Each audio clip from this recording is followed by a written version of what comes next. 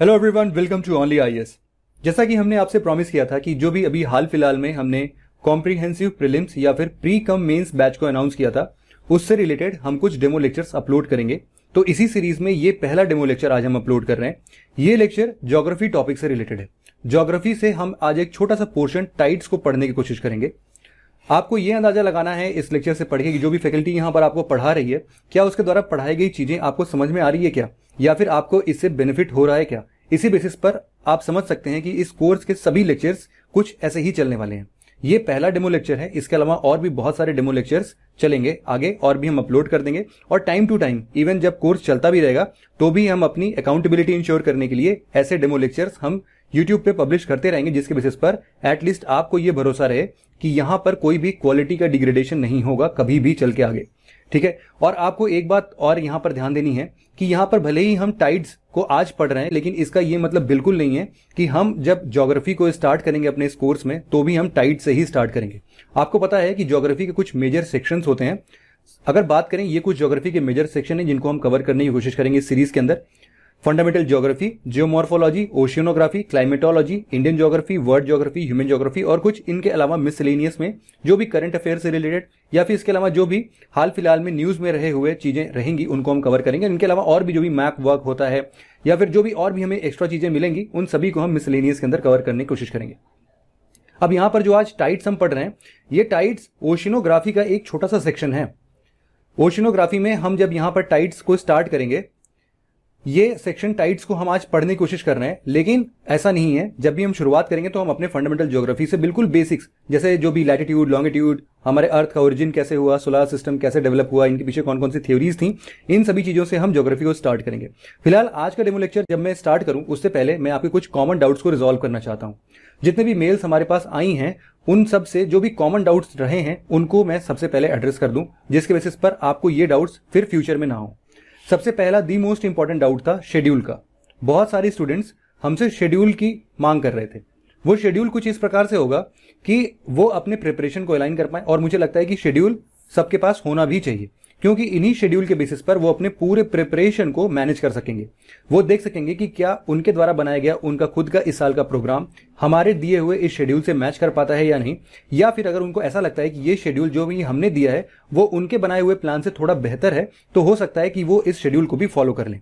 तो इसीलिए सबसे पहले शेड्यूल की मैं बात करता हूँ। ये मंडे को हमारे टेलीग्राम ग्रुप पे और या फिर आप जब video dot only age dot in पे विज़िट करोगे तो इन दोनों जगहों पर आपको ये शेड्यूल मिल जाएगा। मैं आपको एक बार दिखा देता हूँ। जैसे कि जब भी आप video dot only age dot in पे पेज खोलते हो तो आपको ये वाला सेक्शन मिलता है। और एक चीज़ और, यहाँ पर कुछ और भी डाउट्स में रिजॉल्व करता हूँ। ये वाला जो पोर्शन है, ये कॉम्प्रिहेंसिव प्रिलिम्स सिलेबस सीएसपी 2020 ये कोर्स आपको ज्वाइन करना है। जब भी आप इस पर क्लिक करोगे तो आपके पास ये पेज खुलेगा। और इस पेज में आप, इसमें इनरोलमेंट अपना कर सकते हो, इस कोर्स को खरीदते। ठीक है? और इसके यहाँ पर जैसे देखिए आप ओवरव्यू सिलेबस डिस्कशन नोट्स ये सारी चीज़ें लिखी हैं तो ओवरव्यू के अंदर हमने सारे सब्जेक्ट्स मेंशन कर रखे हैं। आप यहाँ पर आराम से इनको देख सकते हैं कौन कौन से सब्जेक्ट्स यहाँ पे कवर किए जा रहे हैं। इनके अलावा इसी ओवरव्यू के अंदर ही हम डिटेल्ड सिलेबस को अपलोड करने की बात कर रहे हैं। इसके बाद हम वापस आते हैं, और शेड्यूल के बाद हम देखें, जो भी दूसरा सबसे बड़ा डाउट था शेड्यूल को थोड़ा सा मैं और आप तक अभी रफली थोड़ा सा मैं आपको बताने की कोशिश करता हूँ। सबसे पहले जब भी आप इस कोर्स को ज्वाइन करेंगे और ट्वेंटी सितंबर से जब ये कोर्स स्टार्ट होगा तो ट्वेंटी सितंबर में दो सब्जेक्ट जैसा कि हमने प्रॉमिस किया था साइमल्टेनियसली चलेंगे। इसमें से एक ज्योग्राफी होगा, जो कि मेरे द्वारा पढ़ाया जाएगा। इसके अलावा दूसरा पॉलिटी होगा। पॉलिटी के जो आप देख रहे होंगे, आजकल एक सर हैं जो कि एडिटोरियल डिस्कस करते हैं। वही सर पॉलिटी आपको पढ़ाएँगे। तो इनसे रिलेटेड जो भी डेमो लेक्चर्स होंगे, वो अभी हाल फ़िलहाल में उसको भी अपलोड कर देंगे हम। इनके अलावा जब ज्योग्राफी और पॉलिटी आप रफली मान सकते हैं कि डेढ़ से दो महीने हम इसी को पढ़ाएँगे। इसके अलावा ये इसमें थोड़े बहुत वेरिएशन भी हो सकते हैं, लेकिन जब हम पूरा शेड्यूल अपलोड कर देंगे तो आप वहाँ से इसको पूरा ट्रैक कर सकते हैं। इसके अलावा फिर हम दो और सब्जेक्ट्स उठाएँगे, एक तो साइंस एंड टेक और दूसरा मॉडर्न इंडिया और इसके अलावा जो भी सात सब्जेक्ट में से बाकी के तीन सब्जेक्ट्स बचते हैं, उनको भी हम धीरे धीरे कवर करने की कोशिश करेंगे। इसके बाद थोड़ा सा मैं और आपके कुछ डाउट्स को रिजॉल्व करने की कोशिश करूँ। सबसे पहला, बहुत सारे डाउट्स ऐसे थे कि ये कोर्स इंग्लिश मीडियम के लिए है या हिंदी मीडियम के लिए? है तो मैं आपको बता दूँ, जैसे भी आप आज इस लेक्चर को देख रहे हैं, या फिर आप जैसे आज तक इस पूरे चैनल के साथ जुड़ते आए हैं ऑनली आई जिसके लिए जाना जाता है कि वो मटेरियल थोड़े से इंग्लिश में ही प्रोवाइड करता है, लेकिन लेक्चर सारे बाइलिंगुअल में लेता है। तो जो भी ऐसे हिंदी मीडियम के स्टूडेंट्स इस लैंग्वेज में कंफर्टेबल हैं, और वो जैसे हमेशा की तरह, जैसे प्रिलिम बूस्टर और एडिटोरियल डिस्कशन को हमेशा से सपोर्ट करते आए हैं, उसी बेसिस पर ये कोर्स भी बिल्कुल सिमिलर उसी ग्राउंड्स पर चलेगा। तो जो भी कंफर्टेबल होंगे, जैसे आज का लेक्चर भी आप देखिए डेमो के तौर पे, और अंदाज़ा लगाइए कि आपको सब कुछ समझ में आ रहा है क्या। यहाँ पर मटेरियल का थोड़ा सा डाउट होता है तो मटेरियल यहाँ पर इंग्लिश में ही हम प्रोवाइड कर पाएँगे। तीसरा जो एक बड़ा डाउट था, वो ये था कि ये बैच जो है, वो प्री कम मेंस है। तो प्री कम मेंस में क्या ये मेंस के सब्जेक्ट भी कवर कर रहा है क्या? और इसके अलावा जो हमारे साइट पर एक मेंस बूस्टर प्रोग्राम है तो फिर वो क्या होगा? यहाँ पर मैं आपको बता दूँ, देखिए, यहाँ पर हमने दो कोर्सेस लॉन्च किए हैं। जैसे कि आप देख रहे होंगे कि एक कॉम्प्रीहेंसिव प्रिलिम सिलेबस है और दूसरा यहाँ पर यूपीएससी मेंस बूस्टर प्रोग्राम है। इन दोनों कोर्सेज में काफ़ी डिफरेंसेस हैं। यहाँ पर बेसिकली हम प्रिलिम्स पर फोकस कर रहे हैं, लेकिन प्रिलिम्स के वो सभी सब्जेक्ट्स जहाँ पर हमें मेंस के पॉइंट ऑफ़ व्यू से भी पढ़ने की ज़रूरत होगी, उन सभी चीज़ों को हम दोनों पर्सपेक्टिव से कवर करेंगे। लेकिन ऐसे बहुत सारे टॉपिक्स होते हैं, जैसे कि internal security world history international relations ethics ये सब कुछ ऐसे सब्जेक्ट्स बड़े बड़े सब्जेक्ट्स होते हैं जो कि हम यूपीएससी मेंस बूस्टर प्रोग्राम में कवर करते हैं, ठीक है? तो जिनको पूरा कंप्लीट पैकेज चाहिए तो उनके लिए एक अलग से सेक्शन और बना दिया गया है। यहाँ पर आप देख सकते हैं। ये वाला जो पूरा कोर्स है, ये फाउंडेशन कोर्स है सिविल सर्विसेज़ 2020 के लिए। इन दोनों कोर्सेज को मर्ज करके इसमें आपको दोनों कोर्स थोड़े कम रेट में यहाँ पर जो भी हमने डिस्काउंट आपके लिए दिया है, उसको आप कैलकुलेट कर सकते हैं अपने हिसाब से। तो यहाँ पर आपको वो मिल जाएगा, ठीक है? तो ये कुछ डाउट्स थे। इनके अलावा कुछ और डाउट्स की अगर मैं बात करूँ चौथे नंबर पे हम डाउट ले सकते हैं कि इसकी वैलिडिटी कितनी है। लास्ट लेक्चर में मैंने आपको ये बताया था कि इसकी वैलिडिटी केवल आपकी प्रीलिम एग्ज़ाम तक है, लेकिन बहुत सारे रिक्वेस्ट हमारे पास आए थे। उन रिक्वेस्ट को हम कंसिडर करते हुए हम इसकी वैलिडिटी को बढ़ा के थर्टी अक्टूबर कर दे रहे हैं। मतलब आपके मेन्स एग्ज़ाम तक ये कोर्स आपके साथ रहेगा। इसके अलावा एक और डाउट था कि ये आंसर राइटिंग प्रैक्टिस भी कराएगा क्या? देखिए, हम इसकी प्रॉमिस तो नहीं करते हैं कि हम आपके द्वारा लिखे गए आंसर्स को इवेल्युएट करेंगे इस कोर्स के अंदर, लेकिन ये बात ज़रूर होगी कि जो भी मेंस के क्वेश्चंस आज तक इस पूरे टॉपिक्स जो भी टॉपिक्स हम कवर कर रहे होंगे, इसके अंदर अगर आए हुए होंगे तो ऑब्वियसली हम उनको एक बार एज ए मॉडल आंसर या फिर उनको हम डिस्कस ज़रूर से करेंगे। इससे आपको बहुत बढ़िया गाइडेंस मिलेगा, जिसके बेसिस पर आप इस पूरे मेंस आंसर राइटिंग को काफ़ी अच्छे तरीके से सीख सकते हो और अपने भी आंसर राइटिंग में काफ़ी इन्हेंसमेंट देख सकते हो। इसके अलावा एक छोटी सी क्वेरी जो कि मुझे लगता है आपको बता देनी चाहिए, वो ये है कि हमारा कोर्स पूरा का पूरा इनक्रिप्टेड होता है। इनक्रिप्टेड होने का मतलब ये है कि ये डाउनलोडेबल फॉर्मेट में नहीं होगा। ठीक है तो आप यहाँ से वीडियोस को डाउनलोड नहीं कर पाएँगे। इसके अलावा एक और क्वेरी आती है, बहुत लोग बोलते हैं कि ये हमारे फ़ोन में नहीं चल रहा है। एक्चुअल में उनका फ़ोन आईफोन होता है। तो आईफोन सपोर्ट नहीं करता इन इनक्रिप्टेड वीडियोस को प्ले करने के लिए। इसीलिए ये आपसे रिक्वेस्ट होगी कि जब भी आप इन कोर्सेज को देखना स्टार्ट करें तो आपके पास कोई भी एंड्रॉइड फ़ोन विंडोज़ फ़ोन कुछ भी हो सकता है, बस आईफोन आपके पास ना हो। ठीक है तो ये कुछ कॉमन डाउट्स थे। और भी कुछ इसमें क्वेरीज थी कि कौन इसमें और भी कौन टीचर्स पढ़ा रहे हैं। तो ऐसे तो अभी आपको दो टीचर्स पता ही है। इनके अलावा कुछ और दो या तीन टीचर्स हो सकता है कि इन फ्यूचर हम उनको और ऐड करें। उनसे रिलेटेड भी हम पहले डेमो लेक्चर्स अपलोड कर देंगे। फिर आपके द्वारा जो भी डिसीज़न लिया जाएगा, उसी के बेसिस पर हम उनको एनरोल करेंगे।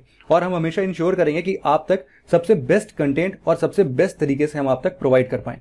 तो ये तो आपके सभी डाउट्स को हमने रिजॉल्व करने की कोशिश की। इसके बाद अब हम बढ़ते हैं आज के टॉपिक की तरफ़, जो कि है टाइड्स तो हमने ओशियोनोग्राफी का एक छोटा सा पोर्शन स्टार्ट किया है, जिसको हम टाइड्स के फॉर्म में पढ़ना चाहते हैं। आप अंदाज़ा लगा सकते हो कि टाइड्स, अगर बेसिकली मैं एक लेमन लैंग्वेज में बात करूँ तो हो सकता है कि ये जो टाइड्स है, ये सुनने में बहुत आसान होता हो, लेकिन जब भी आप ज्योग्राफी के बुक्स में इन टाइप्स को पढ़ना स्टार्ट करते हो तो काफ़ी कंफ्यूजन होती है बच्चों को। ये देखने में बहुत ही सिंपल टॉपिक है, लेकिन फिर पढ़ने के बाद पता चलता है कि ये बहुत ज़्यादा कॉम्प्लेक्स है। तो उसी कॉम्प्लेक्सिटी को मैं आसान बनाने की कोशिश कर रहा हूँ आज। आप भी देखना कि आप तक ये बात पहुँच पाती है या नहीं। स्टार्ट करते हैं टाइट्स को। टाइट्स एक्चुअल में क्या होते हैं? आप ये समझो कि अगर ये पूरा हमारा ग्लोब है, ये अर्थ है, और इस अर्थ पे आप देख रहे हो कि हमें पता है कि लगभग लगभग 74 परसेंट ये पूरा वाटर से घिरा हुआ है। तो क्या होता है कि जब भी मून हमारे इस अर्थ के चारों तरफ़ रिवॉल्व करता है तो ये एक फोर्स एग्जर्ट करता है।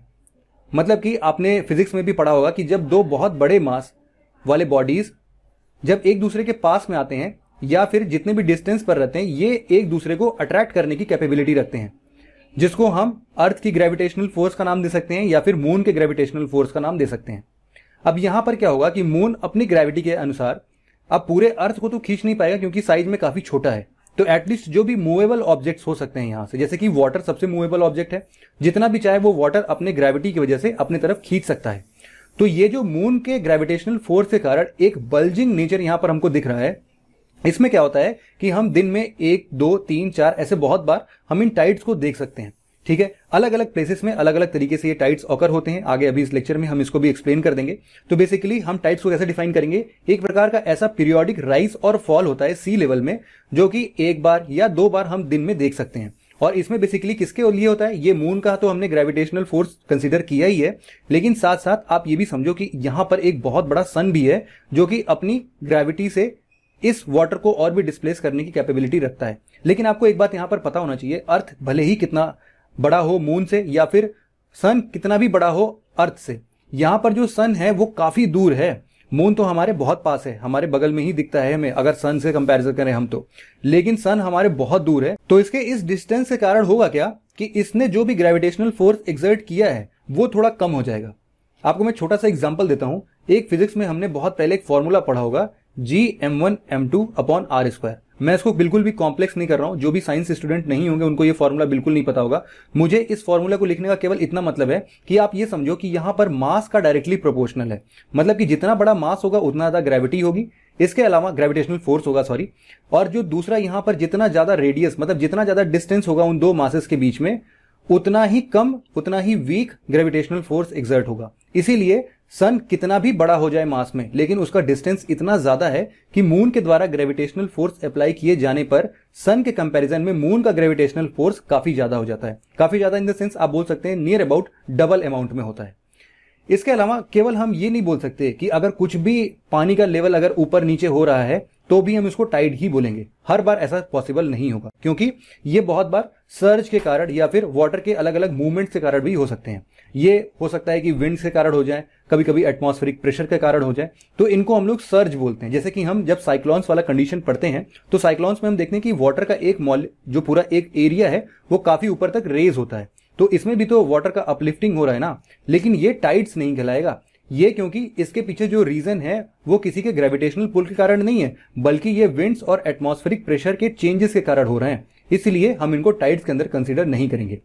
जो भी स्टडी होती है इन टाइड्स की, जैसा कि मैंने आपको बताया, काफ़ी कॉम्प्लेक्स है। काफ़ी कॉम्प्लेक्स इस बेसिस पर भी है, क्योंकि ये अलग अलग जगह पर अलग अलग तरीके से बिहेव करते हैं। इनकी फ्रीक्वेंसी अलग होती है, इनकी मैग्नीट्यूड अलग होते हैं, इनके हाइट भी अलग अलग होते हैं। इसी बेसिस पर अगर हम कुछ फोर्सेस को डिफाइन करना चाहें कि ऐसे कौन कौन से बेसिक फोर्सेस हैं जो कि इन टाइड्स के लिए कॉजेस का काम कर सकते हैं मतलब इनके पीछे का कारण बन सकते हैं। सबसे पहला आपको यह तो पता चल गया कि मून्स का एक ग्रेविटेशनल पुल होगा, वो अर्थ से दूसरे तरफ़ लगेगा। मतलब अगर ये अर्थ है तो इसके ऑपोजिट डायरेक्शन में लगेगा। अगर यहाँ पर मून है तो वो अपनी तरफ़ इसको अट्रैक्ट करेगा। इसके अलावा, जो लेसर एक्सटेंट में हम ये भी बोल सकते हैं कि सन का भी ग्रेविटेशनल पुल कुछ लगता होगा छोटा सा, ठीक है? हम इसके आधा ही मान लेते हैं। अगर ये थोड़ा सा खींचता होगा और इससे दुगना जो है वो मून खींचता होगा, तब भी बल्जिंग यहाँ पर आया कि नहीं आया? इसके अलावा, एक और आपको बात यहाँ पर हमेशा याद रखनी होगी कि इन सभी फोर्सेस को हम किसी न किसी फॉर्म में बैलेंस भी करना चाहते हैं। जैसे कि हम देखते हैं कि पीछे के साइड पर भी बल्जिंग होती है हमेशा। अब यहाँ पर एक सबसे बड़ा क्वेश्चन जो हमारे सामने आता है, वो यही आता है कि एक्चुअल सिचुएशन में देखा जाए तो इधर सन है और इधर मून है। अगर इन दोनों ने अपने अपने ग्रेविटेशनल पुल के कारण अर्थ के ओशन सरफेस को थोड़ा सा ऊपर तक रेज किया है तो ऐसा क्यों हो रहा है कि अर्थ के जस्ट ऑपोजिट साइड जहाँ पर इन दोनों के ग्रेविटेशनल फोर्सेस नहीं लग रहे हैं, फिर भी यहाँ पर बल्जिंग देखने को मिलता है मतलब सी लेवल के राइज को देखने को मिलता है। अब इसको सॉल्व करने के लिए हमको थोड़ा सा और डीप में पढ़ना पड़ेगा। यहाँ पर दो फोर्सेस एक्चुअल में एक्ट कर रहे हैं। सबसे पहले फॉर्म में जब हम केवल सब चीज़ों को छोड़ के, केवल मून और सन को कंसिडर करें तो यहाँ पर एक बात हमें दिख रही है कि जो सबसे ग्रेटर फोर्स रिस्पॉन्सिबल है, वो है ग्रेविटेशनल फोर्स लेकिन दूसरा फोर्स अर्थ के रोटेशन के कारण आता है। इस रोटेशन के कारण आपने कभी भी एक्सपीरियंस भी किया होगा कि जब भी आप किसी कर्व पाथ पे बहुत तेज़ी से मोटरसाइकिल से या फिर बाइक से चलते होगे तो आप बाहर की तरफ़ फेंके जाने जैसा कुछ प्रेशर आपको महसूस होता होगा। ये फोर्स हमेशा आपके ऊपर लगेगा, अगर आप कोई भी रोटेशन वाले काम कर रहे हो। तो जब भी रोटेशन वाले काम होंगे तो ये हमेशा आपको बाहर की ओर फेंकेगा। इसी चीज़ को आप अगर समझो और अर्थ के ऊपर लगाओ तो आपको पता है ना कि अर्थ भी रोटेट करता है। तो इस रोटेशन के कारण ऐसा होता है कि ये भी कुछ फॉर्म में बाहर की तरफ़ फेंकता है। मतलब कि अब ये हमें और आपको और बड़ी बड़ी बिल्डिंग्स इन सबको तो बाहर फेंक नहीं सकता, इसके पास इतना पावर तो नहीं होता है, लेकिन हाँ जो वाटर मॉलिक्यूल्स होते हैं, उनको ज़रूर से थोड़ा सा अपलिफ्ट कर सकता है। इसके वजह से हमें यहाँ पर सेंट्रीफ्यूगल फोर्स देखने को मिलता है। ये सेंट्रीफ्यूगल फोर्स अगर आपसे कोई पूछता है कि आखिरकार इनका क्या कारण है, ये सेंट्रीफ्यूगल फोर्स क्यों लगते हैं तो आप सिंपली बताओ कि ये अर्थ के रोटेशन से लग रहे हैं। लेकिन अब जहाँ तक मुझे आप समझ पा रहे होंगे और जहाँ तक मैं आपको समझ पा रहा हूँ यहाँ पर आपको एक डाउट ज़रूर आया होगा। कि जो सेंट्रीफ्यूगल फोर्स है अर्थ तो चारों दिशाओं में घूमता है ना तो ये सेंट्रीफ्यूगल फोर्स तो हर जगह लगना चाहिए। ये केवल मून और सन के जस्ट ऑपोजिट साइड में क्यों विजिबल है? वो तो फिर सेंट्रीफ्यूगल फोर्स यहाँ पर भी लग रहा है, यहाँ पर भी लग रहा है, यहाँ पर भी लग रहा है। तो सब जगह बल्जिंग होनी चाहिए थी ना, ये केवल पीछे की तरफ़ क्यों बल्जिंग हो रही है? तो इसको एक्सप्लेन करने के लिए आप इस डायग्राम की ओर थोड़ा सा देखेंगे तो आपको काफ़ी अच्छे समझ में आएगा। सबसे पहले हमें कुछ बेसिक कॉन्सेप्ट क्लियर करने पड़ेंगे। हमने अभी तक जितना भी पढ़ा, उसके हिसाब से ये है कि जो भी ये सन है, मान लीजिए, और ये मून है, और ये हमारा प्यारा अर्थ है। अब यहाँ पर क्या होगा कि जब भी यहाँ पर ग्रेविटेशनल पुल लगेगा तो वो मून और सन के डायरेक्शन में होगा इस डायरेक्शन में होगा। और जब भी सेंट्रीफ्यूगल फोर्स लगेगा तो हमने अभी तक ये पढ़ा है कि वो हमेशा ऑपोजिट डायरेक्शन में लगेगा। इतनी बात आपको क्लियर है? अब यहाँ पर एक बात ये तय करना है कि आखिरकार ये पीछे की तरफ़ क्यों लग रहा है, बाकी तरफ़ क्यों नहीं दिख रहा है, या फिर हमें ऐसा प्रतीत क्यों नहीं हो रहा है? आप ये समझो कि जब भी मून और सन इस फ़ेज़ में है तो आप समझो कि सबसे ज़्यादा ग्रेविटेशनल पुल इनका कहाँ लगेगा? इसी फ़ेज़ में तो लगेगा, क्योंकि जो भी इनसे डायरेक्टली कॉन्टेक्टेड सरफेस दिख रहा होगा, वहीं पर ये ग्रेविटेशनल पुल लगा सकते हैं। और आपको भी पता है कि ग्रेविटेशनल पुल ऐसा तो होगा नहीं कि अर्थ के पार करके उसके यहाँ के पानी को भी अंदर खींच लेगा, ऐसा इतना तो पावरफुल होता नहीं है। इसीलिए क्या प्रॉब्लम होगी कि यहाँ तक पहुँचते पहुँचते इनके जो भी ग्रेविटेशनल फोर्सेस हैं, वो काफ़ी कम हो जाते हैं। इवन यहाँ पर भी थोड़े थोड़े पहुँच सकते हैं, यहाँ पर भी थोड़े थोड़े पहुँच सकते हैं, लेकिन इसके बैकवर्ड साइड में बिल्कुल भी इनके ग्रेविटेशनल फोर्सेस का कोई असर देखने को नहीं मिलता है।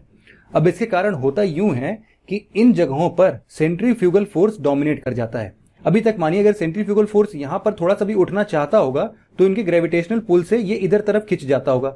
नीचे एक साइड में अगर करता होगा तो भी इधर के साइड खिंच जाता होगा। और यहाँ पर तो ये सेंट्रीफ्यूगल फोर्स थोड़ा सा इनको भी ऐड ही करता होगा। लेकिन फिर भी, अब आप समझो कि जो सेंट्रीफ्यूगल फोर्स यहाँ वाला ये तो इंडिपेंडेंट हो गया ना। यहाँ पर तो किसी का प्रेशर ही नहीं लग रहा है, ना मून के ग्रेविटेशन का और ना ही सन के ग्रेविटेशन का। तो यहाँ पर ये आज़ाद पंक्षी बन जाएगा। और आज़ाद पंक्षी बनने के साथ साथ ये वाटर का एक बड़ा तबका जो है, वो ऐसे बल्जिंग फॉर्म में हमें बाहर निकलता हुआ दिखाई देगा।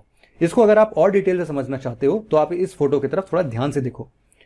अब यहाँ पर इस साइड हमें पता होना चाहिए कि यहाँ पर मून है और पीछे सन भी हो सकता है।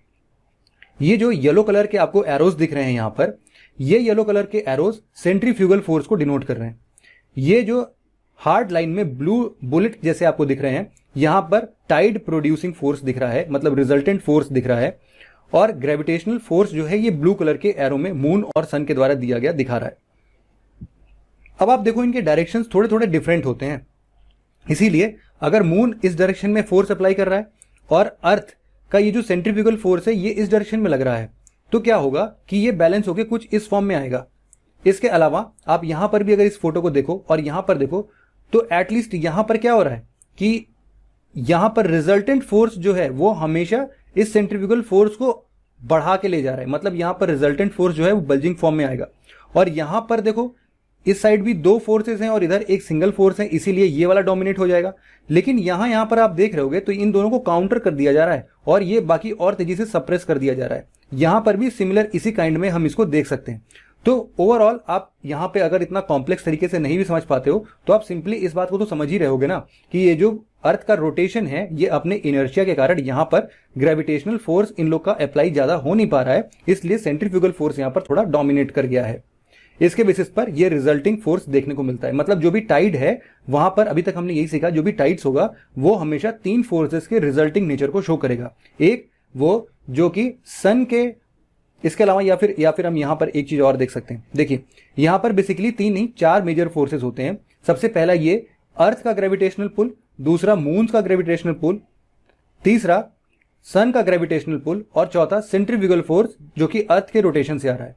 तो यहाँ पर जो आपने देखा कुछ तो सेंट्रीपिटल फोर्स भी होता है और कुछ सेंट्रीफ्यूगल फोर्स भी होता है। तो इन दोनों को भी अर्थ बैलेंस करता है, या फिर अर्थ का भी कुछ अपना ग्रेविटेशनल फोर्स भी तो होगा ना, जो कि वहाँ पर एक्ट करेगा। तो इसीलिए इस सभी फोर्सेस के बेसिस पर हम टाइड्स के रिजल्टिंग फोर्स को काउंटर कर सकते हैं। मतलब यहाँ पर हमको मोटा मोटा चार फोर्सेस को इंक्लूड करना है। सबसे पहला सन का ग्रेविटेशनल फोर्स दूसरा मून का ग्रेविटेशनल फोर्स तीसरा अर्थ का ग्रेविटेशनल फोर्स और चौथा अर्थ जो भी सेंट्रीफ्यूगल फोर्स अप्लाई कर रहा है वो। बस इन्हीं चार फोर्सेस के रिजल्टिंग नेचर से हम टाइड को देख सकते हैं। अब यहाँ पर टाइड्स के बारे में थोड़ी सी और नॉलेज लेते हैं। देखिए टाइड जो होता है बेसिकली इन सभी फोर्सेस के डिफरेंसेस के कारण पैदा होता है। मतलब जो भी हमारा रिजल्टिंग फोर्स होगा, वही टाइड्स के फॉर्म में हमको मिलता हुआ दिखेगा। इसके अलावा आपको ये बात पता होना चाहिए कि जो भी अर्थ के सरफेस पे हम लोग मून का सबसे नियरेस्ट पोर्शन देखते हैं, वहाँ पर सबसे ज़्यादा अट्रैक्टिव फोर्स लगेगा, सबसे ज़्यादा ग्रेविटेशनल फोर्स लगेगा, और जो सबसे ऑपोजिट साइड होगा, वो सबसे देर में इसको एक्सपीरियंस करेगा। इसके अलावा अगर हम कुछ बात करें कि कौन कौन से फैक्टर्स हैं जो कि टाइड्स के नेचर और मैग्नीट्यूड को कंट्रोल करते हैं तो ये बहुत ही इंपॉर्टेंट है, और यूपीएससी इनसे कई बार क्वेश्चन पूछ भी चुकी है, और आगे भी पूछ सकती है, इसलिए इस बारे में थोड़ा सा और स्पेसिफिकली नॉलेज गेन करने की सोचो। कुछ कंट्रोलिंग और सॉरी कुछ फैक्टर्स जो कि टाइट्स और टाइट्स के नेचर और मैग्नीट्यूड को कंट्रोल करते हैं, उनमें सबसे पहला है movement of moon in relation to earth मतलब अर्थ जिस पोजीशन पर है और मून जिस पोजीशन पर है। ज़रूरी नहीं है कि मून हर बार इसी पोजीशन में हो। अर्थ भी रोटेट कर रहा है और मून भी रिवॉल्व कर रहा है। तो बहुत बार होगा कि ये मून यहाँ पर पहुँच जाएगा तो बल्जिंग हमें इस डायरेक्शन में देखने को मिलेगी। मून कभी पहुँच गया यहाँ पर तो हमें बल्जिंग इस डायरेक्शन में देखने को मिलेगी और कभी मून अगर यहाँ पहुँच गया तो हमें बल्जिंग इस डायरेक्शन में देखने को मिलेगी। मतलब क्या है कि अलग अलग जगहों पर हम इन सभी फोर्सेस को इस बेसिस पर डिफाइन कर सकते हैं कि आखिरकार मून और अर्थ इन दोनों के बीच में रिलेटिव या फिर रिलेशन कैसा है, इनका रिलेटिव मूवमेंट कैसा है। पहला कंट्रोलिंग फैक्टर ये होता है। दूसरा हम देखें change in the position of sun and moon मतलब कि सन और मून के भी रिलेटिव पोजिशन से। क्यों? ऐसा हम क्यों बोल रहे हैं? आप इस डायग्राम को थोड़ा सा समझिए। मान लीजिए यहाँ पर हमारा प्यारा अर्थ है और मून का डायरेक्शन यहाँ पर है और सन जो है वो कहीं इधर साइड में बड़ा सा है। अब आप यहाँ पर समझो कि अगर सन अपने ग्रेविटेशनल फोर्स से इसको थोड़ा सा इंक्रीज कर पा रहा होगा, यहाँ पर बल्जिंग नेचर क्रिएट कर पा रहा होगा और मून भी इसको अपने द्वारा थोड़ा सा यहाँ पर भी बल्जिंग क्रिएट कर पा रहा होगा तो आखिरकार ये वाला फोर्स थोड़ा सा तो यहाँ पर भी लगेगा और ये सन का भी फोर्स थोड़ा सा तो यहाँ पर भी लगेगा। तो इसके वजह से होगा यूँ कि इनको हम काउंटर बैलेंस करते हुए देख सकते हैं। मतलब कि इसके ग्रेविटेशनल फोर्स को इस पोजीशन में सन थोड़ा सा काउंटर कर देगा और सन के ग्रेविटेशनल पुल का जो इफ़ेक्ट यहाँ पर देखने को मिल रहा था, उसका मून वो मून के ग्रेविटेशनल फोर्स से काउंटर बैलेंस हो जाएगा। मतलब ओवरऑल सिचुएशन में देखा जाए तो केवल अर्थ और मून के रिलेटिव पोजीशन से नहीं, बल्कि अर्थ मून और सन इन तीनों के रिलेटिव पोजीशन से हम टाइड्स को समझ सकते हैं। इसके अलावा there are certain irregularities also इसके बेसिस पर हम ओशियन के कुछ कॉन्फ़िगरेशंस की भी बात कर सकते हैं कि ओशियन में कितना वाटर है, कितना शैलो है, कहाँ पर वाइड कॉन्टिनेंटल शेल्फ है। इन सब बेसिस पर भी वाटर का क्रॉस सेक्शनल एरिया बेसिकली कितना होता है, उसके बेसिस पर भी हम टाइड को कंसिडर कर सकते हैं।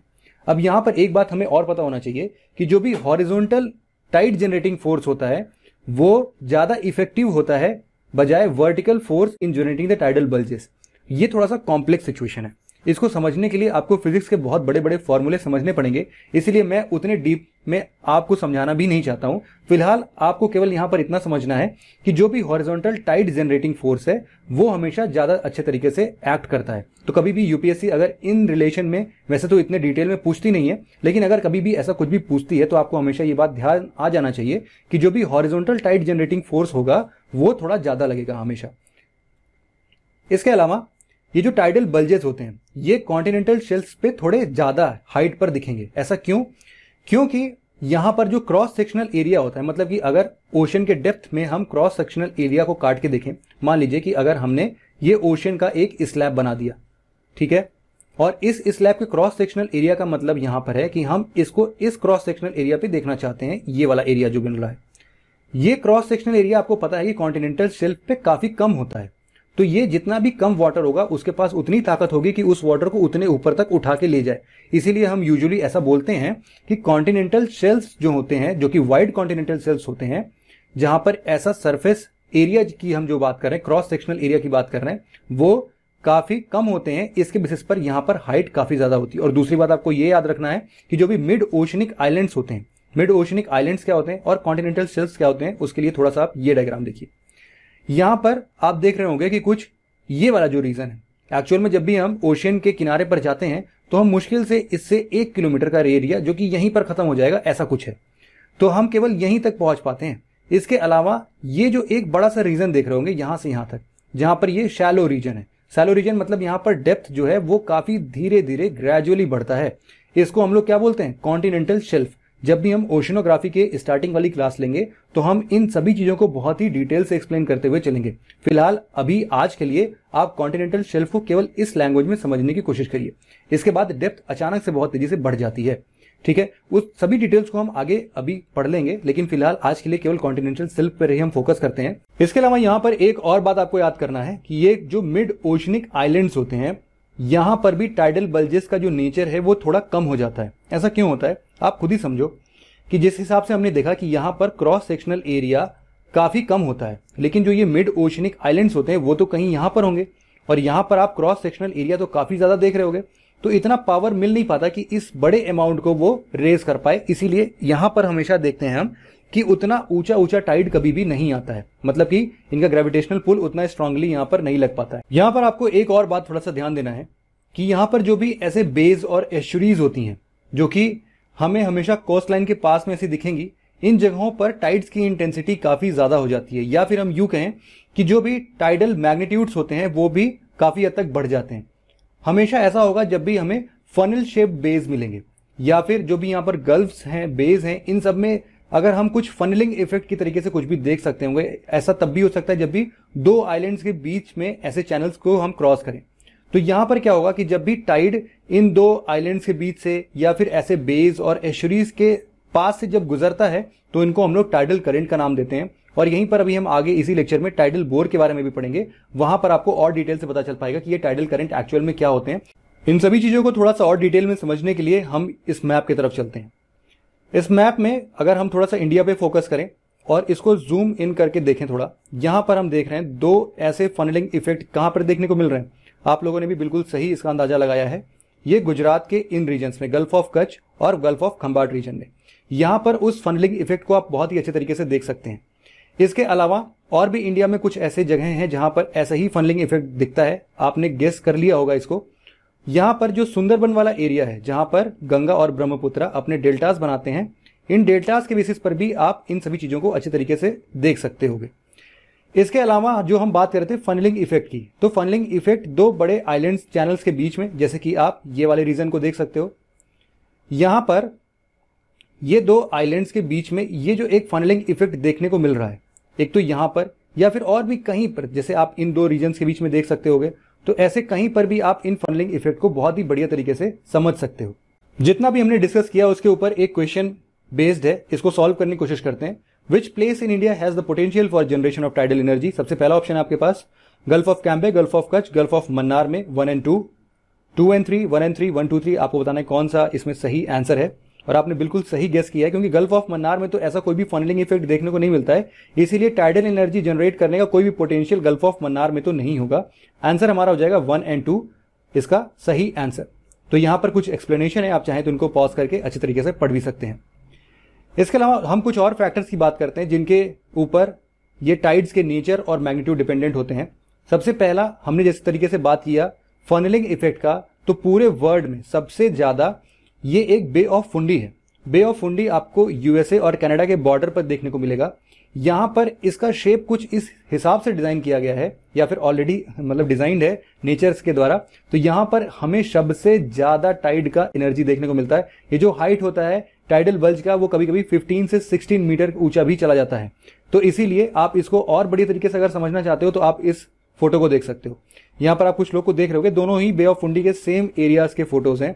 एक यहाँ पर जब लो टाइड है लो टाइड में आप देख रहे होगे कि यहाँ पर पानी का लेवल कितना है और लोग आराम से यहाँ पर बिल्कुल नीचे नीचे तक हैं। और यहाँ पर हाई टाइड के रीजन में देखो कि आप यहाँ पर कितने लोग खड़े हो सकते हैं क्या? बिल्कुल नहीं।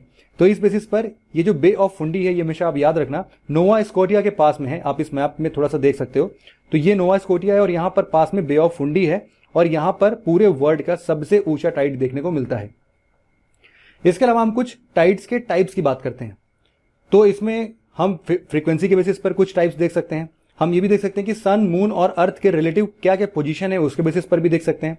या फिर मून के पेरिजी और एपोजी के बेसिस पर भी हम टाइड्स के मैग्नीट्यूड को डिफाइन कर सकते हैं और अर्थ के भी पेरिजी एपोजी के बेसिस पर हम मैग्नीट्यूड को डिफाइन कर सकते हैं। इन सभी बेसिस पर हम इनको डिफाइन करने की कोशिश करते हैं। सबसे पहले अगर हम टाइड्स के टाइप्स में फ्रीक्वेंसी का बेसिस लें मतलब कि एक दिन में कितनी बार किसी भी एक प्लेस पर टाइड्स को हम देख सकते हैं। हो सकता है एक बार आए, हो सकता है दो बार आए, चार बार आए, छह बार भी आ सकता है बहुत जगह। तो ये अलग अलग पोजीशन अर्थ के होते हैं, जिसके बेसिस पर हम टाइड्स की कितनी बार फ्रीक्वेंसी देख सकते हैं, उन फ्रीक्वेंसीज के ऊपर हम इनको क्लासिफाई करते हैं।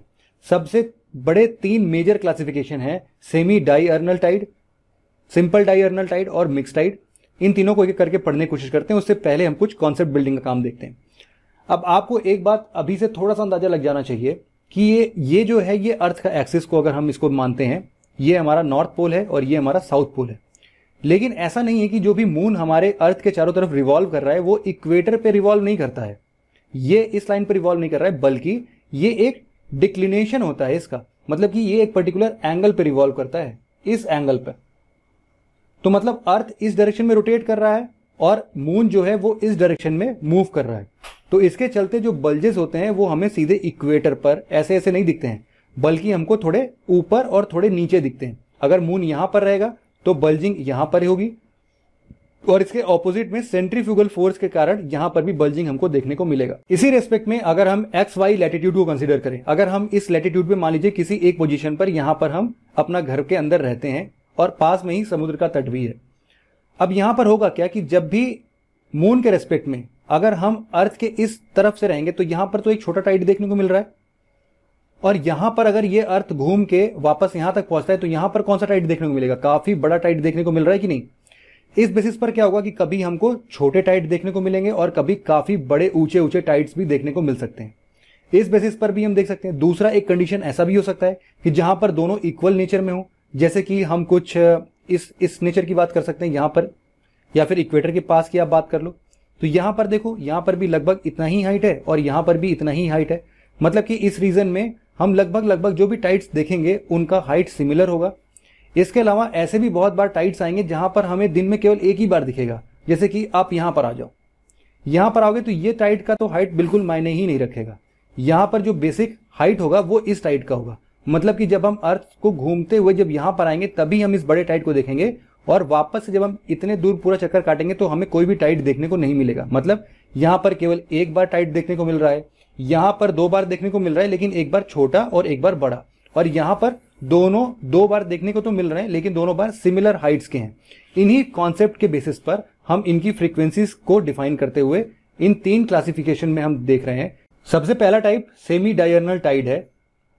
सेमी डायर्नल टाइड में हम ये देखते हैं कि जो भी पैटर्न होता है, वो किसी भी अर्थ के एक प्लेस पे दो बार हाई टाइड देखते हैं और दो बार लो टाइड देखते हैं। इसको हम समझते हैं, इस वाले डायग्राम से जरा हेल्प लेके। ये डायग्राम ले लेते हैं।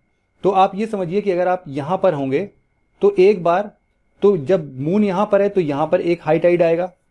जब मून यहाँ पहुंचेगा तो आपके पास लो टाइड देखने को मिलेगा। जब मून यहाँ होगा तो वापस से हाई टाइड देखने को मिलेगा, क्योंकि सेंट्रीफ्यूगल फोर्स लगता है।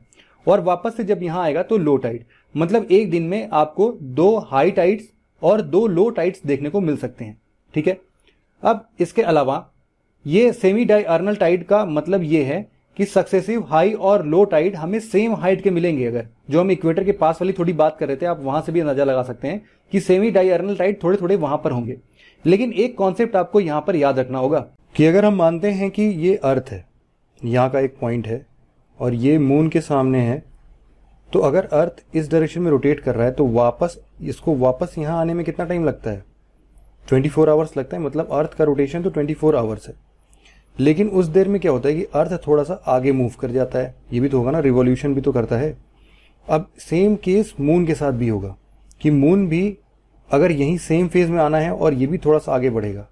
लेकिन अर्थ की स्पीड को ये थोड़ा सा कैच करने के लिए सेम उसी जगह पर पहुँचने के लिए ये एग्जैक्टली ट्वेंटी फोर आवर्स नहीं लगते हैं।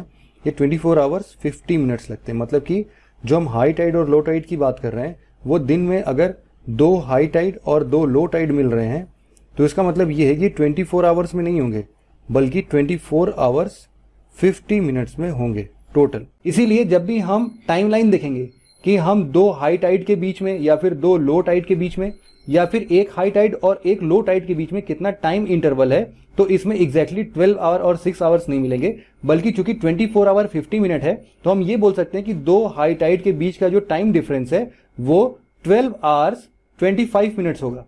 इसी तरीके से अगर हम हाई टाइड और लो टाइड के बीच के डिफरेंसेस टाइम डिफरेंस को देखेंगे तो ये सिक्स आवर और 12.5 मिनट्स के लगभग हो जाएगा। तो ये टाइम डिफरेंसेस के बेसिस पर भी कभी कभी क्वेश्चंस बन जाते हैं। इसके अलावा ये सब यहाँ पर यही एक्सप्लेन है। यहाँ पर एक और बात है कि आप समझो कि इंग्लैंड में एक साउथहैम्पटन है। साउथ साउथहैम्पटन में छह से आठ बार टाइड्स एक्सपीरियंस होता है। ऐसा इसलिए है क्योंकि दो बार तो इसको हाई टाइड मिलता है नॉर्थ सी की वजह से और दो बार हाई टाइड मिलता है इसको इंग्लिश चैनल की वजह से। इसी तरह सिमिलरली दो नीप टाइड इसको मिलते हैं नॉर्थ सी की वजह से और दो नीप टाइड मिलते हैं इनको इंग्लिश चैनल की वजह से। अब ये हाई टाइड और नीप टाइड क्या है, अभी हम अपने आगे आने वाले लेक्चर्स में डिस्कस कर लेंगे। इस चीज़ को अगर हम वापस से थोड़ा समझना चाहते हैं तो हम इस मैप में भी देख सकते हैं। यहाँ पर अगर हम इस साउथहैम्पटन यूके को सर्च करते हैं तो आप यहाँ पर एक प्लेस देख रहे होंगे। यहाँ पर थोड़ा सा मैं इसको जूम आउट करता हूँ। यहाँ पर जिसकी बात हम कर रहे थे कि यहाँ पर दो चीज़ें देखने को मिलती हैं। एक तरफ़ से तो इंग्लिश चैनल है और दूसरी तरफ़ से हमें यहाँ पर नॉर्थ सी देखने को मिलता है। तो अलग अलग सी से आप यहाँ पर फनलिंग इफ़ेक्ट भी थोड़ा सा देख सकते होगे। आप इस डायरेक्शन में थोड़ा सा देखो। ये साउथ हैम्पटन है। यहाँ पर दो आइलैंड के बीच से भी फनलिंग इफ़ेक्ट यहाँ से भी और यहाँ से भी देखने को मिल रहा है। इसीलिए ये जो साउथ हैम्पटन वाली जगह है, वो कुछ दो बार हाई टाइड और नीप टाइड इधर से आती है और दो बार हाई टाइड और नीप टाइड इधर से आती है। तो इसीलिए यहाँ पर छह से आठ बार भी हम लोग टाइड्स को देख सकते हैं अच्छी तरीके से। अगला हमारा टॉपिक डाइर्नल टाइड से है। इसमें हम लोग एक हाई टाइड और एक लो टाइड प्रतिदिन देख सकते हैं। यहाँ पर इसका मतलब ये है, और दोनों के जब सक्सेसिव हाइट्स हाई टाइड और लो टाइड के अप्रोक्सीमेटली सेम होंगे मतलब यहाँ पर हम पोलर वाले रीजन में जो हम समझना चाहते थे शुरुआती में, हम उस डाइर्नल टाइड की बात कर रहे हैं।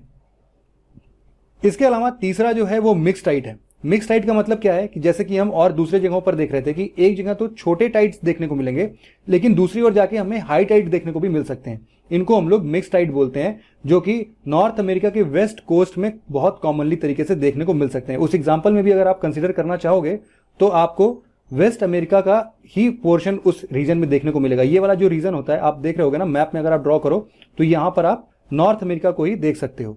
तो नॉर्थ अमेरिका वाले रीजन में ही थोड़ा थोड़ा ये बात किया गया है। तो इसी तरीके से आप इस तीनों टाइप्स के फ्रीक्वेंसीज का अंदाज़ा लगा सकते हो। इसके अलावा अगर हम बात करें अगले टाइप्स की मतलब जो क्लासिफिकेशन है, अगर हम वो देखें कि हमारा सन मून और अर्थ का रिलेटिव पोजिशन क्या है और उसके बेसिस पर टाइड्स कैसे आते हैं तो यहाँ पर जो राइजिंग वाटर का हाइट है, वो वेरी करेगा इन तीनों के रिलेटिव पोजीशन से। अब इसके कारण से दो टाइड्स हमको देखने को मिल सकते हैं, एक तो स्प्रिंग टाइट और एक नीप टाइट स्प्रिंग टाइट को हम लोग हाई टाइट भी बोलते हैं। यहाँ पर स्प्रिंग टाइट को अगर हम समझना चाहें अच्छे तरीके से तो ये तब ऑकर होगा जब सन अर्थ और मून, ये तीनों सिंगल सिमिलर डायरेक्शन या फिर सिंगल लाइन में अलाइंड हो जाए। मतलब कि या तो मून यहाँ रहे, या तो मून पीछे की तरफ़ रहे, दोनों से कोई फ़र्क नहीं पड़ता क्योंकि हमको पता है कि जस्ट ऑपोजिट साइड में सेंट्रीफ्यूगल फोर्स एक्ट करता ही करता है। तो जहाँ पर भी मून नहीं होगा, उसका just opposite side centrifugal force work करेगा। तो इसीलिए इसे मैटर नहीं करता कि ये मून बीच में हो या फिर बिल्कुल कॉर्नर में। मतलब मून बीच में हो या अर्थ बीच में हो, इससे कोई मतलब नहीं है। तो जब भी सन मून और अर्थ एक स्ट्रेट लाइन में होते हैं तब टाइड का जो हाइट है वो सबसे ज़्यादा होता है। इसी टाइड को हम लोग स्प्रिंग टाइड बोलते हैं। और ये मंथ में दो ही बार देखने को मिल सकता है। एक तो फुल मून के टाइम पर और दूसरा न्यू मून के टाइम पर। अब आपको पता होना चाहिए फुल मून और न्यू मून क्या होता है। जो भी न्यू मून होता है, वो बिल्कुल डार्क होता है। जब भी हम देखते हैं कि हमारे रात के टाइम पर बिल्कुल अंधेरा होता है तो वो हमारा न्यू मून होता है। और जिस टाइम हमें पूरा चाँद दिखता है, वो हमारा फुल मून होता है। ये कब होगा? ऑब्वियस सी बात है, जब भी मून हमारे सन और अर्थ के बीच में आ जाएगा। तो इस केस में हमको सन के द्वारा जो भी रोशनी आ रही होगी, वो पीछे के साइड आ रही होगी। तो मतलब चंद्रमा हमको दिख नहीं पाएगा। इसलिए ये न्यू मून का केस होगा। इसके अलावा जो इसका जस्ट ऑपोजिट साइड है यहाँ पर, हमको ये अर्थ के थोड़ा सा ऊपर टिल्टेड होगा और इसीलिए सन के रिस्पेक्ट में ये पूरा का पूरा चंद्रमा हमको दिखेगा। तो ये हमारे लिए फुल मून के जैसा होगा। तो मतलब केवल दो सिचुएशंस में स्प्रिंग टाइट देखने को मिल सकता है। एक तो न्यू मून सिचुएशन में और एक फुल मून सिचुएशन में। मैं इसको इतना डिटेल में इसलिए बता रहा हूँ क्योंकि एग्जैक्टली exactly ऐसे ही स्टेटमेंट्स आपको मिल सकते हैं कि spring tide occurs twice in a month once जब ये न्यू मून का सिचुएशन होता है और दूसरा जब ये फुल मून का सिचुएशन होता है। तो ये स्टेटमेंट उस टाइम पर सही करेंगे आप। इसी रेस्पेक्ट में आप एक क्वेश्चन देख लेते हैं। आपको बताना है, इसमें से कौन सा स्टेटमेंट स्प्रिंग टाइड के लिए सही है? During spring tide the sun moon and the earth are in straight line दूसरा the height of the tide will be higher during the spring tide तीसरा spring tide occurs once in a month अब आपने बहुत अच्छे तरीके से इसका answer कर लिया होगा कि तीसरा स्टेटमेंट तो गलत ही है, क्योंकि ये दो बार होगा, एक न्यू मून और एक फुल मून के टाइम पर, और ये दोनों स्टेटमेंट बिल्कुल सही थे तो इसका आंसर वन एंड टू हो जाएगा। इसके और भी फर्दर एक्सप्लेनेशन के लिए आप यहाँ पर स्लाइड को पॉज करके अच्छे तरीके से पढ़ सकते हैं। अगला हमारा नीप टाइड है। नीप टाइड का क्या मतलब होता है? ये रिलेटिवली लोअर टाइड्स होते हैं। यहाँ पर जैसा कि हम अभी एक पोर्शन में डिस्कस भी कर रहे थे कि तब क्या होगा, जब सन और मून एक डायरेक्शन में ना होके जस्ट परपेंडिकुलर डायरेक्शंस में होंगे। इस केस में तो इन दोनों के ग्रेविटेशनल फोर्स को ये एक दूसरे काउंटर करते हुए होंगे। तो ये जो काउंटर फोर्सेस लग जाते हैं ना, इसके चलते क्या होता है कि ये जो भी यहाँ पर टाइड्स आते हैं, ये उतने हाइट के हो नहीं पाते हैं। मतलब कि आप अगर ऐसा समझो कि एक नॉर्मल एवरेज लेवल है, ये टाइड का हाइट है। अगर स्प्रिंग टाइड आएगा तो ये नॉर्मल हाइट से भी ज़्यादा ऊपर होगा स्प्रिंग टाइड और अगर नीप टाइड आता है तो इससे थोड़ा सा नीचे ही होगा इस नीप टाइड मतलब कि एक एवरेज से ऊपर पहुँचने पे अगर पानी का हाइट इससे ऊपर पहुँच जाता है तो स्प्रिंग टाइड होगा और इसके नीचे नीप टाइड होगा। मतलब यूजुअली नीप टाइड हमारे एवरेज हाइट से भी कम होते हैं और स्प्रिंग टाइड हमारे एवरेज हाइट से भी ज़्यादा होते हैं। इसके अलावा यहाँ पर हम यही तरीके से देख सकते हैं कि मून का जो अट्रैक्शन है, वो इस डायरेक्शन में है और सन का अट्रैक्शन इस डायरेक्शन में है। इसीलिए ये दोनों फोर्सेस जो हैं, वो काउंटर एक्टिंग हो जाते हैं और यहाँ पर हम नीप टाइड देखते हैं। यहाँ पर नीप टाइड के लिए भी दो टाइम आएगा ना? एक तो जब मून इस पोजीशन पे हो और यही जब रोटेट होके यहाँ पर आएगा, तब भी हम इसको मंथ में दो बार देख सकते हैं। दोनों को कंबाइंड फॉर्म में अगर आप देखना चाहते हैं एक साथ तो आप इस फ़ोटो में इसको अच्छे तरीके से रिलेट करके देख सकते हैं। पहले डायग्राम में हम देख रहे हैं कि ये स्प्रिंग टाइप का सिचुएशन है और जहाँ पर न्यू मून का कंडीशन और फुल मून का कंडीशन ये तीनों सिंगल डायरेक्शन में ही अलाइंड है। इसके अलावा दूसरा नीप टाइट का कंडीशन जिसमें ये दोनों परपेंडिकुलरली अलाइंड है और ये भी थर्ड क्वार्टर मून और फ़र्स्ट क्वार्टर मून के अंदर ये आएगा। अब यहाँ पर आप एक बात थोड़ा सा और ध्यान से देखेंगे तो आपको यहाँ पर एक और चीज़ डिटेल में दिख रहा होगा कि ये जो डार्क ब्लू कलर का बल्जिंग है, ये बल्जिंग थोड़ा सा सोलर टाइट की वजह से हो रहा है। मतलब सोलर या फिर सन की वजह से जो भी पुल हो रहा है, वो सोलर टाइट के नाम से जाना जाएगा। और जो भी मून की वजह से ये बल्जिंग देखने को मिल रही है, लाइट ब्लू कलर में, ये लूनार टाइट के नाम से जाना जाता है। एक क्वेश्चन अटेंड करते हैं यहाँ पर। Consider the following statement regarding neap tide and spring tide हमें बताना है कौन सा स्टेटमेंट सही है नीप टाइड और स्प्रिंग टाइड से रिलेटेड पहला there is a seven day interval between spring tide and neap tide यहाँ पर आप सेवन डे से पहले एग्जैक्ट वर्ड यूज़ कर लीजिए। There is exact seven day interval between the spring tide and neap tide दूसरा statement है during neap tide the sun and moon are at right angles to each other जैसा कि अभी हमने पढ़ा कि नीप टाइड में ये वाला स्टेटमेंट तो बिल्कुल सही है। लेकिन यहाँ पर एग्जैक्ट सेवन डे नहीं हो सकते हैं। ये सेवन डे से कुछ कम होते हैं। जैसा कि हमें पता है कि अप्रोक्सीमेटली अगर हम बात करें तो इसको ट्वेंटी सेवन डेज़ लगते हैं। अर्थ का चक्कर काटने में तो अगर हम इसको फोर से डिवाइड भी करेंगे तो भी लगभग लगभग ये सेवन डे से कम ही आएगा तो यहाँ पर ये स्टेटमेंट गलत हो जाएगा हमारा। और हमारा स्टेटमेंट जो है, वो केवल दो होगा। अगर यहाँ पर अप्रोक्सीमेट वर्ड यूज़ किया गया होता है कि अप्रोक्सीमेटली सेवन डेज़ लगते हैं तो ये आंसर सही हो गया होता। इसके अलावा हमारा अगला टाइप जो है, वो मैग्नीट्यूड के बेसिस पर है, कि जो मून का पोजीशन है, हमें पता है कि मून ऐसा नहीं है कि अर्थ बिल्कुल सेंटर में है, और इससे जो मून का डिस्टेंस है, वो हमेशा इक्वी डिस्टेंस या फिर सर्कुलर पाथ में है।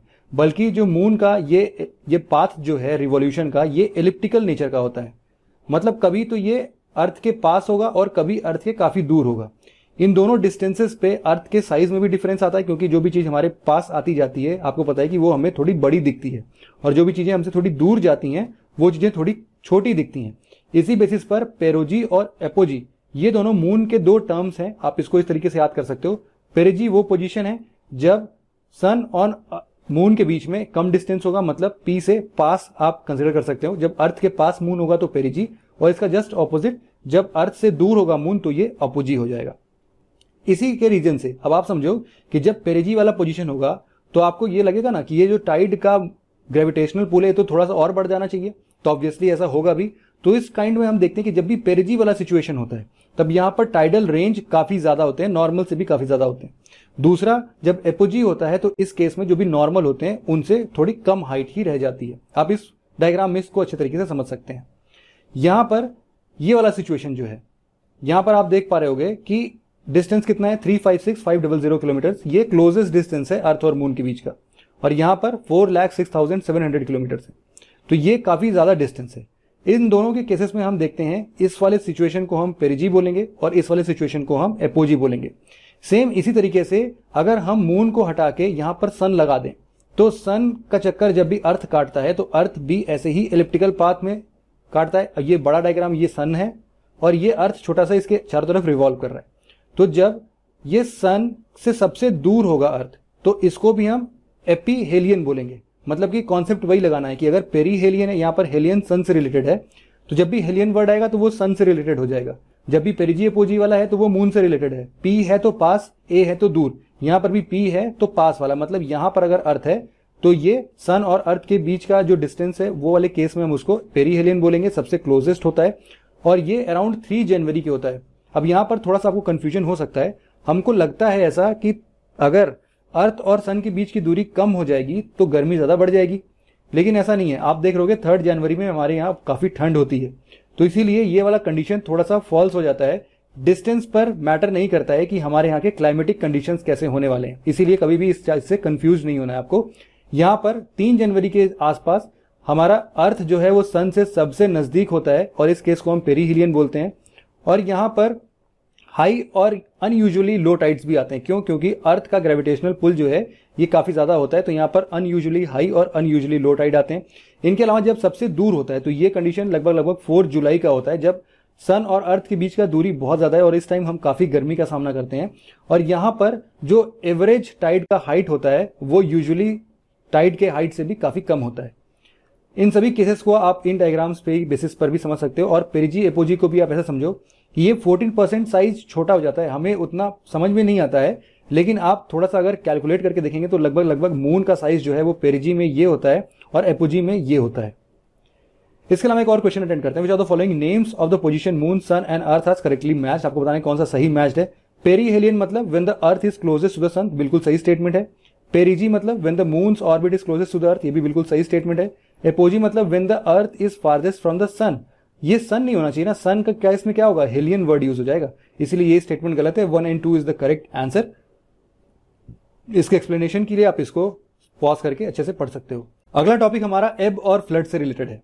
ये दो ऐसे टर्म्स हैं, आप इस डायग्राम को देखेंगे, अच्छे से समझ पाएँगे।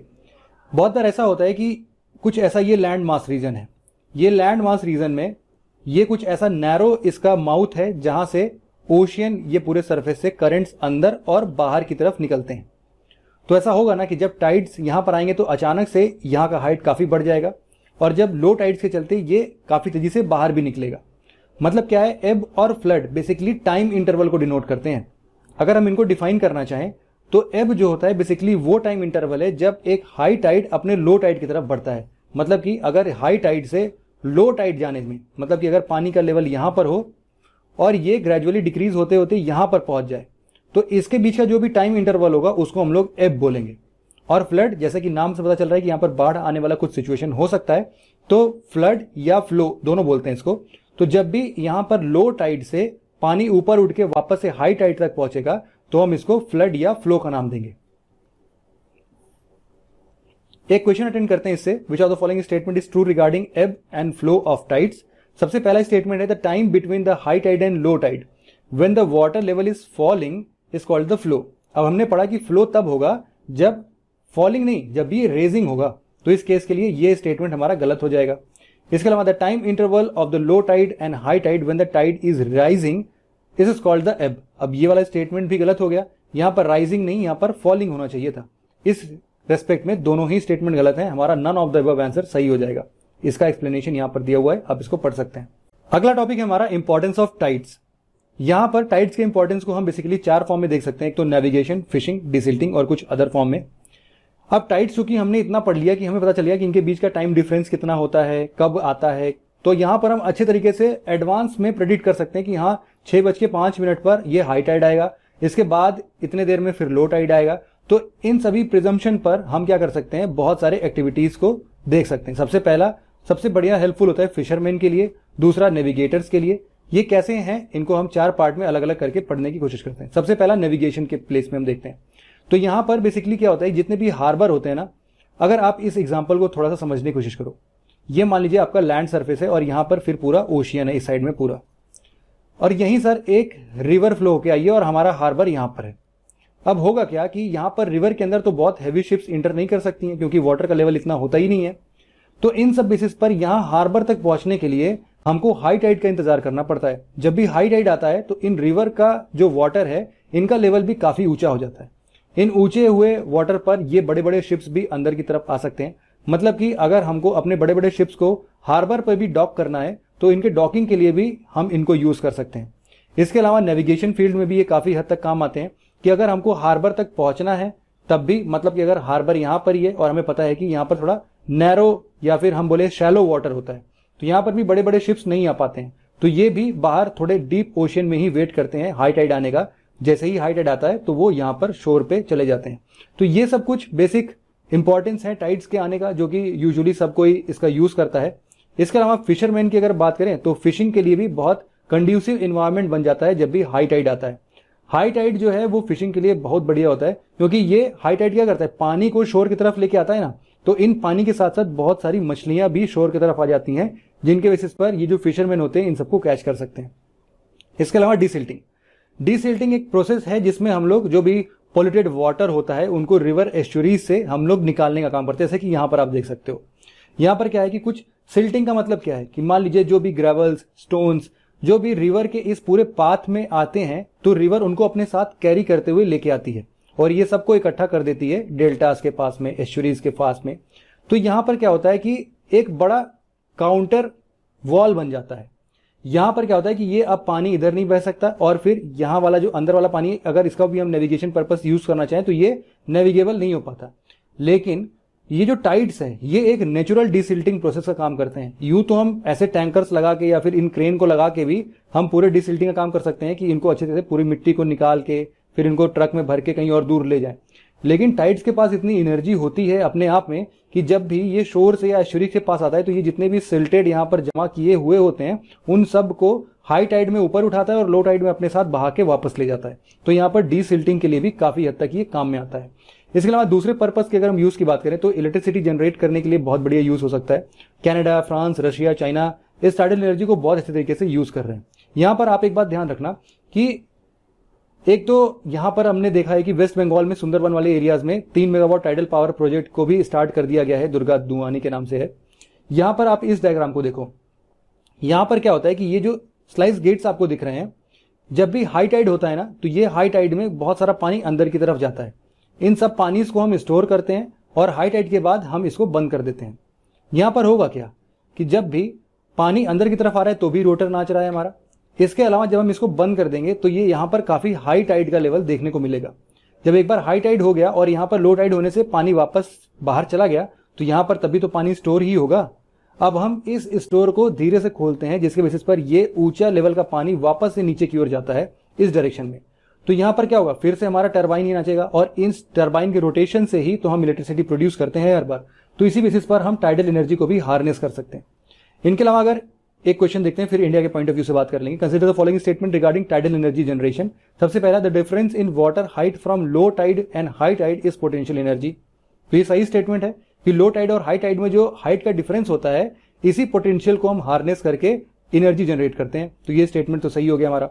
Tidal water is procure captured in a barrage across an estuary during low tide and forced through a hydro turbine during high tide तो ये स्टेटमेंट तो आपको भी पता चल गया होगा कि थोड़ा उल्टा लिख दिया है। यहाँ पर हाई टाइड होना चाहिए था और यहाँ पर लो टाइड होना चाहिए था। तो इसने थोड़ा पलट के लिख दिया, इसलिए ये स्टेटमेंट गलत होगा, इसीलिए हमने दो ऑप्शन को एलिमिनेट कर दिया।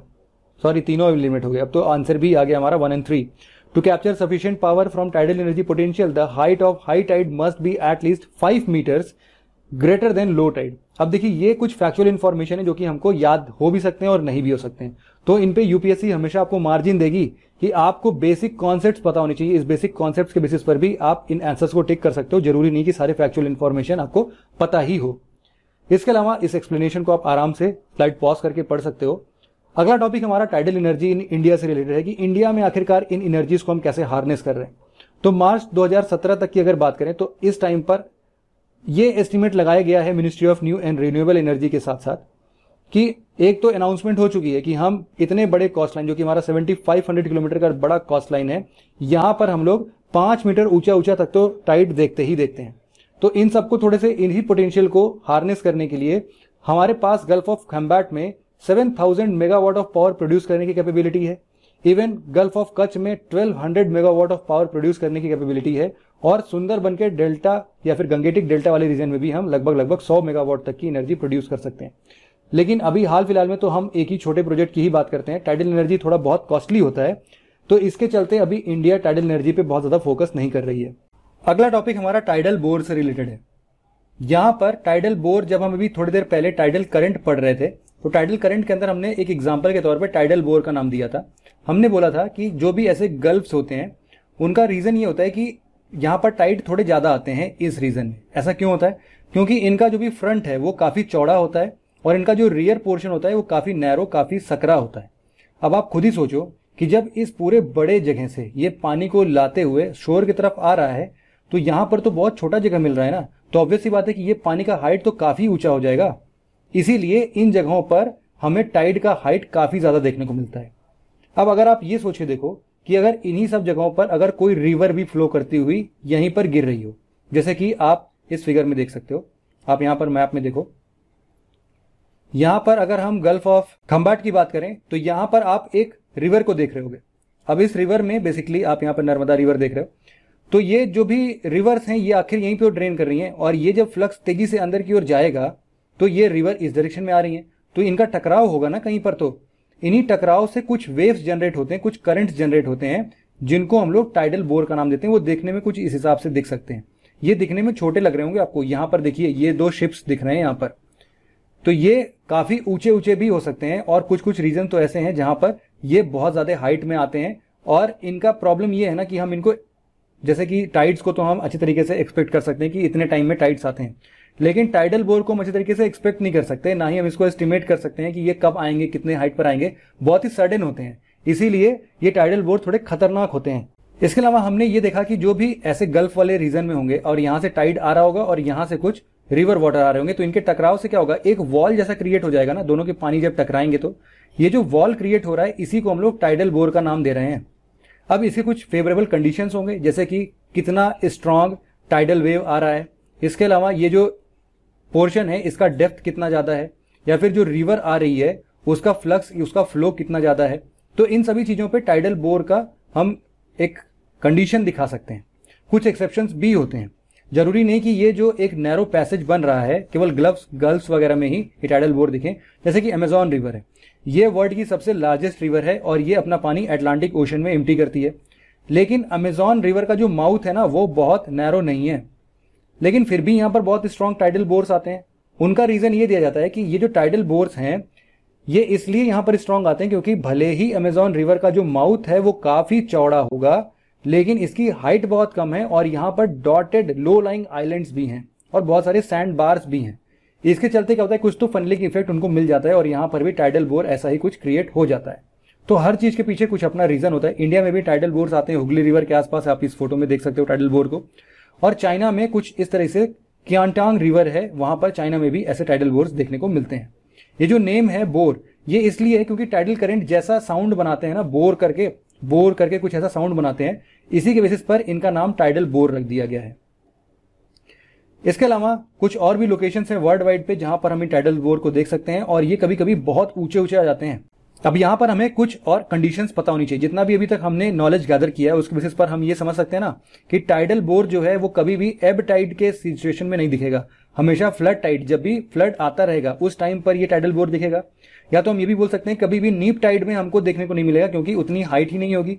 इसके अलावा, जो भी क्वार्टर मून्स होते हैं, जहाँ पर हम लोग नीप टाइड की बात कर रहे थे, वहाँ पर भी वीकेस्ट टाइड होते हैं तो वहाँ पर भी ऐसे टाइडल बोर देखने को नहीं मिलते हैं। इसके अलावा इसके इम्पैक्ट की अगर हम बात करें तो ये टाइड्स स्टेबल और प्रेडिक्टेबल होते हैं। उसी जगह पर टाइडल बोर सबसे कम प्रेडिक्टेबल और बहुत खतरनाक भी होते हैं। टाइडल बोर जो है, वो भी शिपिंग और नेविगेशन में एडवर्स इफ़ेक्ट डालते हैं, क्योंकि कभी भी आ सकते हैं ना, और इससे शिप्स वगैरह पलट जाती है कभी कभी बोट्स को कैप्साइज भी कर देते हैं मतलब पूरा का पूरा उसको ढक देते हैं और उसको डुबो भी देते हैं ये लोग। तो इसीलिए टाइडल बोर्स थोड़े खतरनाक नेचर के होते हैं। जो बहुत ज़्यादा स्ट्रॉन्ग टाइडल बोर्स होते हैं, वो फिशिंग जोन को भी इफ़ेक्ट करते हैं। वो जो भी एश्यूरीज के पास में ऐसे फिशिंग ग्राउंड्स बनते थे, उन सबको भी ये नष्ट करने में कैपेबिलिटी रखते हैं। इसके अलावा ये एश्चुरीज को तो अफेक्ट करते ही करते हैं। साथ में जो भी इनके ब्रीडिंग ग्राउंड्स भी होते हैं ना वाइल्ड लाइफ के, वहाँ पर भी ये पहुँच जाते हैं और वहाँ पर भी कुछ परेशानियाँ क्रिएट करते हैं। अब इन सब रीजन से हम इसलिए यहाँ पर थोड़ा सा ये डिसाइड कर सकते हैं कि जो भी टाइडल बोर्स है, उनके जहाँ पर भी ये दिखते होंगे, उसके पीछे पीछे हम लोग कार्निवोर्स और स्कैवेंजर्स को देखते होंगे, क्योंकि यहाँ पर लॉस सबसे ज़्यादा हो रहा है ना हैबिटेट का, या फिर जो भी वाइल्ड लाइफ है। तो यहाँ पर इन स्केवेंजर्स और कार्निवोर्स को तो बढ़िया खाना मिल जाता होगा। तो इसीलिए टाइडल बोर्ड के आसपास आपको कार्निवोर्स और स्कैवेंजर्स देखने को भी अच्छे तरीके से मिल सकते हैं। तो कभी भी इनडायरेक्टली इतना दूर का भी यूपीएससी सोच के अगर आपसे कभी क्वेश्चन पूछता है तो आप इसका भी आंसर दे पाओगे। कुछ मल्टीपल चॉइस क्वेश्चन को अटेंड करते हैं, बहुत ईजी ईजी से हैं। ये प्रिलिप्स टू का क्वेश्चन है। Upward and downward movement of ocean water is known as बहुत ही simple tide spring tides are caused अब स्प्रिंग टाइड क्यों होते हैं? आपको बताया कि तीनों एक ही डायरेक्शन में अलाइंड हो। मतलब जो ये सेम डायरेक्शन वाला है तो ए आंसर सही हो जाएगा। The distance between the earth and the moon is minimum when the moon is अब ये तो और भी आसान क्वेश्चन हो गया। सबसे कम कब होगा? पेरी हेलियन वाला। नहीं हेलियन जो है वो सन के लिए होता है पेरीजी होगा, यहाँ पर आंसर इसके अलावा, चौथा question the earth reaches its perihelion in अब पेरी हेलियन मतलब क्या? सबसे पास। सबसे पास मतलब कब? हमने जनवरी में देखा था ना, तीन जनवरी को। तो ये वाला आंसर जनवरी का करेक्ट आंसर हो जाएगा।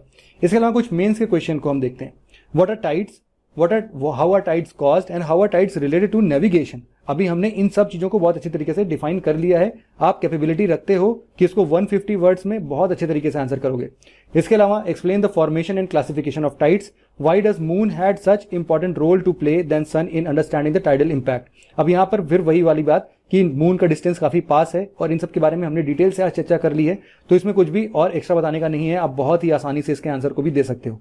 How are tidal currents different from tidal bores discuss the importance and uses of tidal current तो ये भी हमने डिस्कस कर लिया है कि टाइडल करंट के क्या क्या यूज़ हो सकते हैं, जैसे नेविगेशन में फिशिंग में।